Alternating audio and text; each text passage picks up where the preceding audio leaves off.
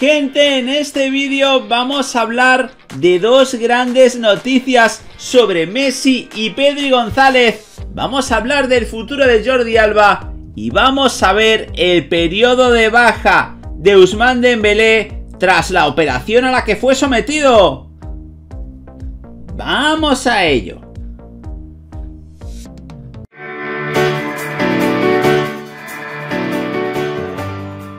Hola de nuevo gente, ¿cómo estáis? Bienvenidos de nuevo a otro vídeo para el canal. Vamos a analizar la última hora del Fútbol Club Barcelona y vamos a hacerlo con varias noticias. Por tanto, te animamos a que te quedes hasta el final del vídeo, a que nos dejes un buen like y a que le deis a la campanita de notificaciones. Vamos sin más dilación a analizar la primera noticia y vamos a ver cómo le está yendo a Pedri en la selección española. El barcelonista está decidido a seguir haciendo historia en el mundo del fútbol. Desde su debut con el Barça se ha robado todos los focos y confirma partido tras partido que es el futbolista del mañana. Su talento, inteligencia y lectura del juego le han convertido no solo en una pieza clave para el Barça, sino también para la selección española con solo 18 años ganándose la posibilidad de ser titular indiscutible después de disputar todos los partidos de la fase de grupos con España, sumando además todos los minutos posibles, el de Tegueste llegó muy enchufado a los octavos de final de la Eurocopa para seguir demostrando su valor. Además, se le había criticado porque no estaba mostrando su mejor versión, pero ante Croacia despejó todas las dudas a su alrededor y se llevó un nuevo récord a su palmarés personal, convirtiéndose en el jugador más joven de la historia de la Eurocopa en jugar un partido de eliminación directa con 18 años y 215 días. Así pues, la joven estrella de la Roja ha superado a dos jugadores ingleses, Marcus Rashford con 18 años y 240 días y Wayne Rooney 18 años y 244 días. Antes, en el partido inaugural de España en la Eurocopa ante Suecia, se había convertido en el futbolista español en disputar una gran cita, Eurocopa y Mundial, con la selección. Lo cierto es que este nuevo récord lo ha confirmado con un partido de estrellas. Comenzó el choque ante los croatas muy enchufado, buscando crear combinaciones y lanzándose siempre al ataque, pero a los 20 minutos de partido él y toda la selección vivieron una verdadera pesadilla. Pedri mandó desde el centro del campo un balón a Unai Simón y el guardameta no consiguió frenarlo ni controlarlo, abriendo el marcador ante los croatas bajo su nombre. Sin embargo, eso no fue inconveniente para que firmara su partido más completo en lo que va de torneo. Ante la selección de Luka Modric, el del Barça fue uno de los jugadores más destacados en el planteamiento de Luis Enrique y dio mucha fluidez al juego de los españoles, además de pelear por todos y cada uno de los balones. Fue preciso, incisivo e insistente. El ex de Las Palmas estuvo acertado, no regaló el balón y se mantuvo al acecho en la búsqueda de los goles en todo momento.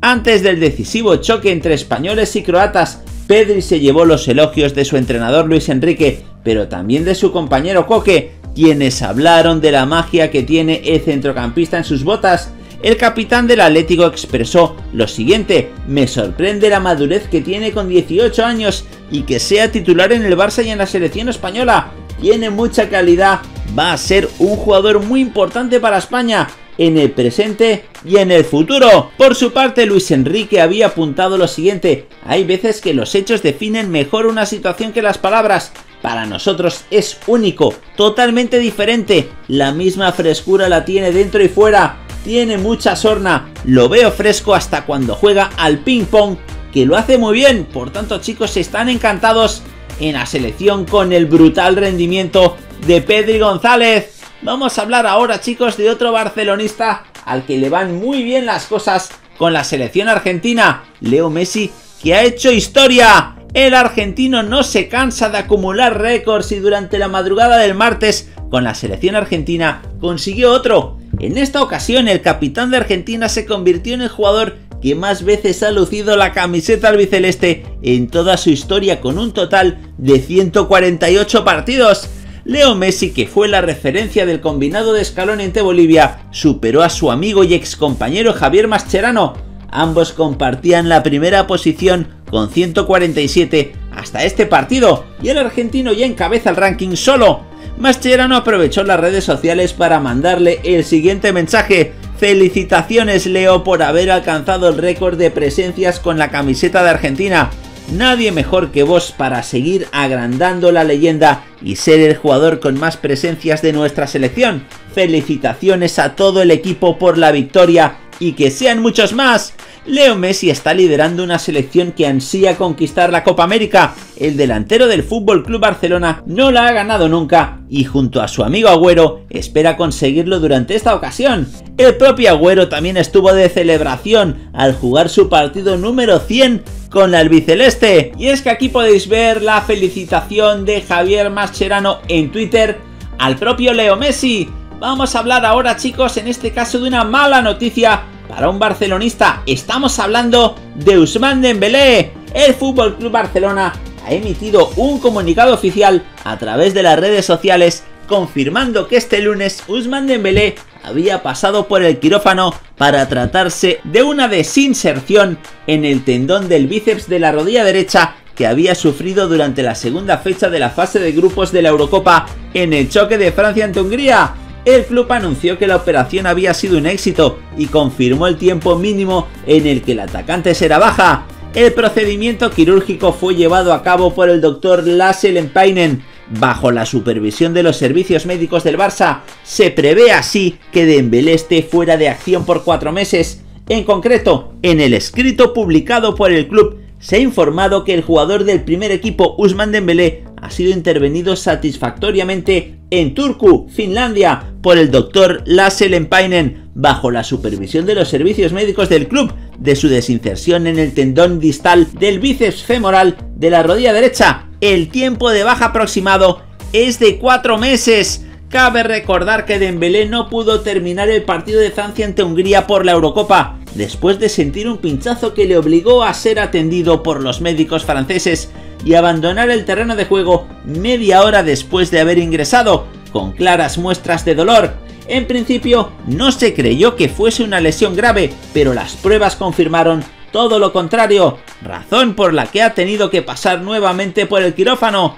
En el último año las lesiones estaban dando tregua al jugador del Barça quien había despegado bajo las órdenes de Kuman en el curso 2021, convirtiéndose en uno de los jugadores más incisivos y que más peligro creaban por la banda. Marcó 11 goles en 44 partidos en la temporada y finalmente había abandonado el calvario de las lesiones y problemas físicos, pero ahora la situación es muy diferente. El buen rendimiento en el Barça le había permitido regresar a una convocatoria con la selección francesa y en la Eurocopa estaba sirviendo como revulsivo para Didier Deschamps para el segundo tiempo de los partidos. Con el Mosquito, en los dos partidos de Eurocopa antes de lesionarse, el entrenador galo buscaba dinamizar la ofensiva y crear más peligro por las bandas, labor que el culé desempeñó a la perfección. Con este tiempo de baja, el Barça ha quedado en una situación muy delicada con el jugador de 24 años, recordando que su contrato vence en el verano de 2022 y aún no lo ha renovado. De hecho, ha sido Dembélé y su entorno quienes han dado largas al asunto y no han tomado una decisión al respecto, dejando a los culés entre la espada y la pared porque, si no extiende su estadía en el Camp Nou, deben ponerlo en el mercado de inmediato. Sin embargo, con cuatro meses de baja en plena ventana de transferencias de verano, es muy difícil que el club consiga su salida. A la porta y compañía les queda esperar la evolución del futbolista y confiar en que recuperará nuevamente su mejor versión después de cuatro meses fuera de acción. Por tanto, chicos, vuelven las lesiones con Dembélé en el Barcelona. Vamos ahora a hablar de Jordi Alba y es que no se le pasa por la cabeza abandonar el club culé. Al Barça le queda un largo verano por delante para intentar aligerar lo máximo posible la masa salarial todo pasa por reestructurar los contratos y dar salida a los sueldos más altos, de modo que hay jugadores que se han colocado en la lista de salida. Uno de ellos es Jordi Alba. El lateral izquierdo ha sonado para un trueque o para abandonar el club definitivamente, aunque el futbolista está haciendo oídos sordos porque prefiere centrarse en la Eurocopa con España antes de ver su futuro.